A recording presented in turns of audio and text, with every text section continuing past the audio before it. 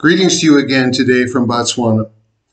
As you know, this is a part of my uh, video, my mini series on alcohol, alcohol consumption. I hope that you will find it helpful. This is uh, entitled Why Most Christians Don't Drink. This is something I used to wonder a lot myself because obviously the Bible does not forbid it, but it does come pretty close. So I want to see some of the principles that are in Scripture concerning this. Why do most Christians not drink? And again, remember, there is not, it is not forbidden, but do as the Lord would show you. Because it goes a little bit beyond just whether or not you should drink alcohol, and even beyond whether or not you should be drunken, because if you are drunken, obviously you are in sin and, and you need repentance. That, that is definitely a no no. And of course, strictly speaking, if you don't drink, you won't get drunk. So please just hear me out patiently. Uh, I will have plenty of, I will have scriptures in the description. I will also have a link to the other video that I had. It's called My Last Drink. And so I hope that you will be blessed by this. The first category that I have here is just simply self-denial. As we read here from Luke 9, 23 and 24, if any man will come after me, that is coming after Jesus, let him deny himself, take up his cross daily, and follow me. For whosoever will save his life shall lose it, but whosoever will lose his life for my sake, the same shall save it. When Jesus says to deny yourself, that's very important. This is, in other words, anything that would stand in the way between you and the Lord or representing the Lord well. You know, you must, you, you should deny yourself. It may not be uh, plainly written in the Word, but you will know this by the witness of the Holy Spirit within you. Another part of self denial, again, I had read this from the other one. This is 1 Corinthians chapter 6, verse 12. All things are lawful unto me, but all things are not expedient. All things are lawful unto me, but I will not be brought under the power of any. Just because we're allowed to do it doesn't mean that we should do it. And remember that in our flesh, our flesh is very weak. In our flesh dwells no good thing. And so it's better to flee from problems than uh, try to overcome them in ourselves. And also, I have included with this, I have included this from 1 Thessalonians 5:22 abstain from all appearance of evil. And you know that often, I mean, people associate drinking with evil, bad company, bad situations. So it's another reason why we should pull away from it. Then I have bad associations. I have listed two. One of these is very powerful. This is the only thing I'm trying to focus on the New Testament with this to keep this simple because we live in the New Testament. You're going to find lots of problems in the in the Old Testament with drunkenness, and you will. But we live in the New Testament. It is a progression, and this simplifies it a little bit, you know, for your perusal. Although some of the bad examples I will give, they cut they are shown from the Old Testament. In the book of Psalms, blessed is the man that walketh not in the counsel of the ungodly, nor standeth in the way of sinners, nor sitteth in the seat of the scornful. His delight is in the law of the Lord, and in his law he doth meditate day and night. So we see, I mean, how many uh, are delighting in the law of the Lord in a bar? How many are not in the seat of the, are, are not sitting with the scornful or walking with sinners when they're in bars? Obviously, this is bad company, and the Lord tells us to steer away from it. I think also again of the simplicity of James 4, verse 4, which simply says, You adulterers and adulteresses, know you not that the friendship of the world is enmity with God? Whosoever therefore will be a friend of the world is the enemy of God. And believe me, if you're drinking, you are the friend of the world, because that is exactly what they want to do.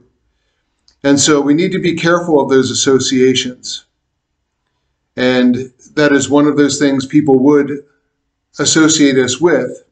For example, even Jesus, when he was speaking of the end times in Matthew 24, at the end of that chapter, or near the end, verses 48 to 51, one of the bad things he warned against was eating and drinking with the drunken. So we don't want to do this. These are bad associations, and they should be put away from us. I have another verse here of instruction. This instruction comes from, uh, this is Romans 13, verse 13. Let us walk honestly as in the day, not in rioting and drunkenness, not in chambering and wantonness, not in strife and envying. Put ye on the Lord Jesus Christ, and make not provision for the flesh to fulfill the lust thereof. Okay, it was 13 and 14. But there you see it. We are not to be walking in drunkenness. This is part of the instruction. And again, I'm telling you, I have more verses that refer to these things. I should have them itemized pretty well in the uh, pretty well in the description. So please avail yourself of those resources. But we try to keep these videos, keep the videos short. We see also that there is condemnation, don't we? There is condemnation to those who are to those who are drunken. We see this also from 1 Corinthians 6. Let me just find that for you so I can read it. It's not just in one place in Scripture. Be not deceived, neither fornicators, nor idolaters, nor adulteresses, nor effeminate, nor abusers of themselves with mankind, nor thieves, nor covetous, nor drunkards, nor revilers, nor extortioners shall inherit the kingdom of God. And so we know when we're making this practice out of being drunkards, some might say, well, what is a drunkard? To me, it is, to me, I would say a drunkard could be defined as anyone who deliberately gets drunk, no matter how often they do it. I knew a, a girl that I had worked with one time. I was talking to her on a Saturday, I believe, and uh, it was either Friday or Saturday, but the party she was going to was on Saturday. And she was telling me how she was going to get drunk and call in sick to work on Sunday. Now, I was actually a manager from a different department, but at this point, I figured I do I'd, at least do better not to associate. I was, you know, I was kind of, you know, she was attractive, and I was kind of get, trying to get to know her. But at this point, I'm like, well, this doesn't sound very good.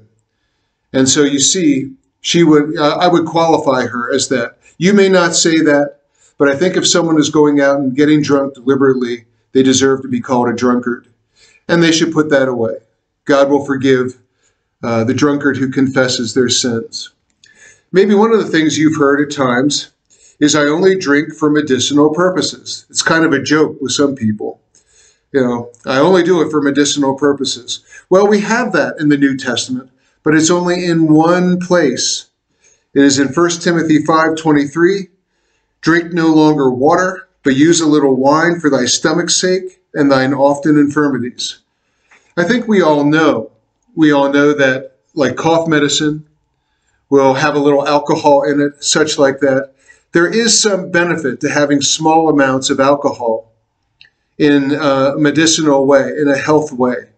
But of course, that must never be an excuse for doing what we are not to do. Um, other things I wanted to mention without reading. First of all, when you look at the instruction to the leaders, to the bishops, it was listed two times, to the deacons once, and to aged women once. And that is, it's always saying that they should not be given too much wine. They should not be given too much wine. Always making that a point. Four times with like the, the elder church leaders saying, don't drink a lot. So I call that a significant warning. As we know, and I just wanted to go over this, I mean, drinking leads to problems. Uh, if you go into the Old Testament, you're going to find a lot of counsel against being drunken. You're going to find problems. But the main two, the main two examples that I found to list were from Genesis, because that pertains to God's people. The first one would have been with Noah.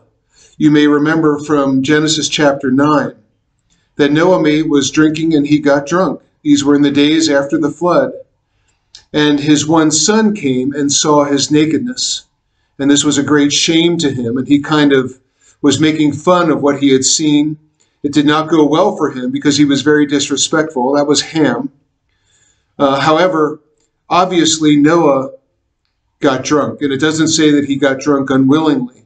And so this led to other problems that were out of his control. And then we see also from Genesis 19, this would have been with Lot and the two unmarried daughters of Lot after they had escaped Sodom and Gomorrah, and then they had fled the small city Zoar. His two his uh, two daughters, especially the elder one, got the idea. Well, we don't have husbands, and and uh, my father's name might be blotted out from uh, heaven, and, and we should carry on the family name. And so they deliberately got Lot, their father, drunk.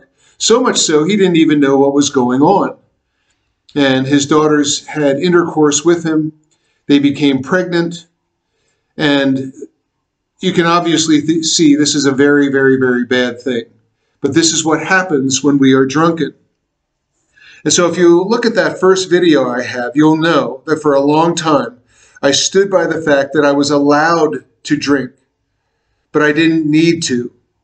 There may be situations you don't feel this way. Maybe there's Maybe you don't have such good water or something like this. You must use discernment. But for myself, I felt it was best to put away the drinking, and I can see why most Christians do. The Bible really steers us away from it in terms of our witness, in terms of the associations that we get into. It's just not good. So I pray that this might be a blessing to you and answer some questions I hope that the Lord will quicken it to you according to his will. Have a good day.